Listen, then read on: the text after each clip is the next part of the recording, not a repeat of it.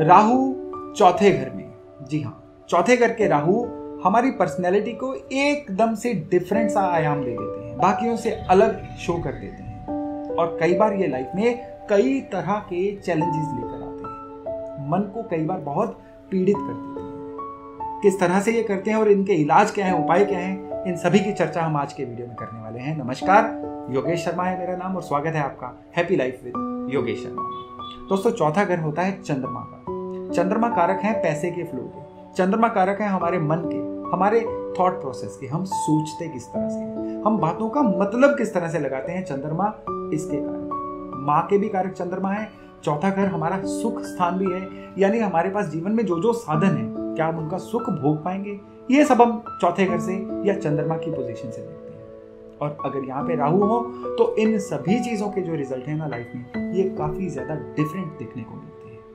अगर यहाँ पे चंद्रमा सही होगी तो फिर तो ये जो इंसान है ना, खूब बड़ी सोच वाला इंसान है। इसका अपनी वाणी पे, अपने शब्दों पे खूब अच्छे वाला कंट्रोल होगा तब ये जिस तरह से जगत को, खुद को पेश करना चाहता है ना, बिल्कुल उसी तरह से दिखाएगा। यानी इसका जो दिखावा भी होगा ना, वो भी बिल्कुल रियल जैसा लगेगा। अगर ये राहु यहाँ पे अच्छे हों तो इन लोगों को कई बार देखा गया, बड़ी गाड़ियों का बहुत शौक होता है। अच्छे अच्छे गैजेट्स का बहुत शौक होता है।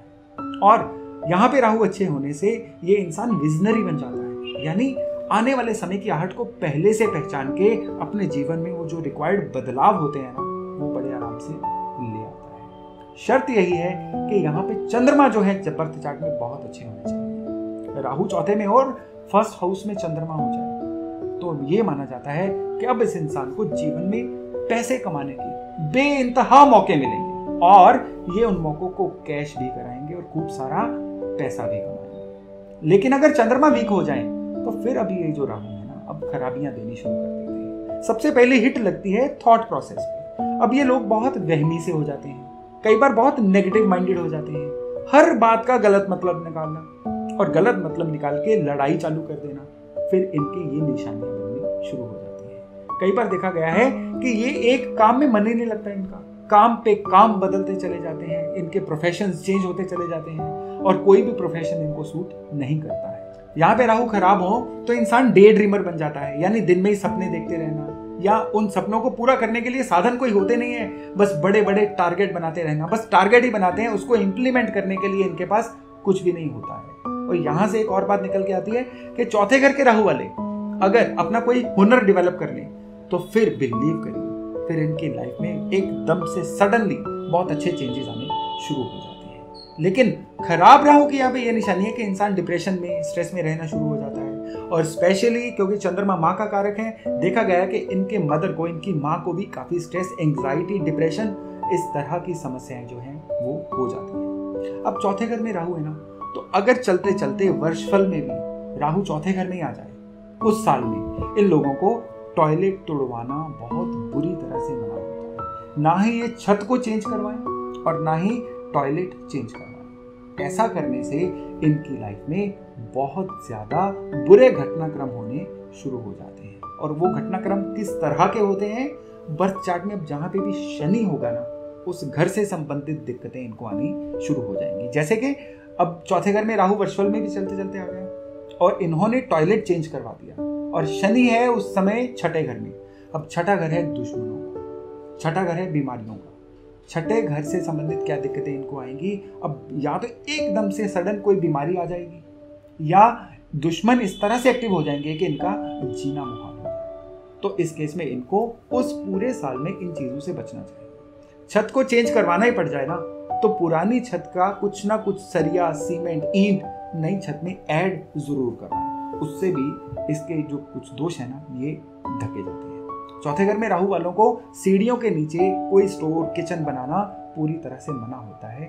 इससे भी इनके रिज़ल्ट जो हैं, खराब होते हैं। देखिए fourth house north east corner है घर का। और यहाँ पे अगर राहु हो तो नॉर्थ ईस्ट में नॉर्मली इनके कबाड़ मिलता है। नॉर्थ ईस्ट में राहु की जैसे टॉयलेट वगैरह, ऐसी चीज़ें देखने को मिलती हैं। और अगर ये मिल जाए तो ये राहु जो है, एकदम से पॉइजनस हो जाते हैं।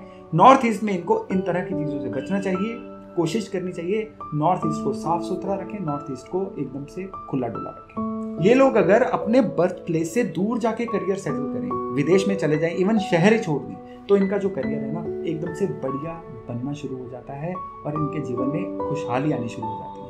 अगर ये जन्म स्थान पे जमे रहें तो फिर इनका जीवन जो है, ज़्यादातर स्ट्रगल में ही बीतता है देखिए, चंद्रमा जो है, पढ़ाई के भी कारक हैं, चंद्रमा पैसे के कारक हैं। यहाँ पे खराब राहु क्या करते हैं, इंसान को एक तो 24 साल की उम्र तक पैसे की तंगी देते हैं। इसके अलावा कई बार देखा गया है कि या तो इनकी पढ़ाई पूरी नहीं होती या बहुत डिस्टर्बेंस के साथ, बहुत ही विघ्न के साथ इनकी पढ़ाई पूरी होती है। अब अगर पैसे की दिक्कत आ रही है और राहु चौथे घर में है तो इनको 400 ग्राम सूखा धनिया जो है, उसको जल प्रवाह करना चाहिए। सूखा धनिया क्यों?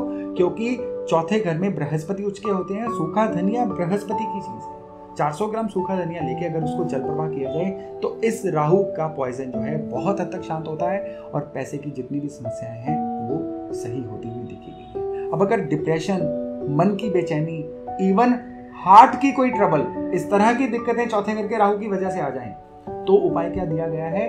अब जौ लेके कितनी भी क्वांटिटी में उसको दूध में भिगो के, इसको चलते पानी में प्रवाह करिए।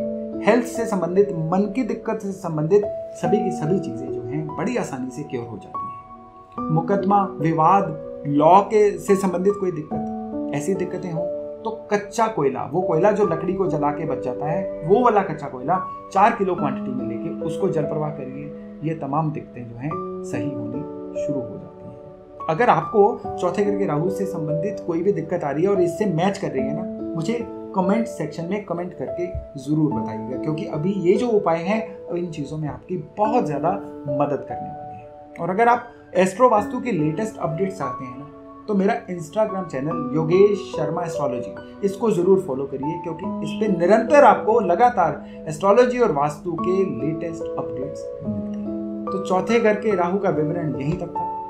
पाँचवें घर में राहु क्या कहते हैं, उसके बारे में चर्चा करेंगे हम अगले वीडियो में। तब तक अपना खूब ध्यान रखिएगा। बहुत जल्द मिलते हैं। नमस्कार।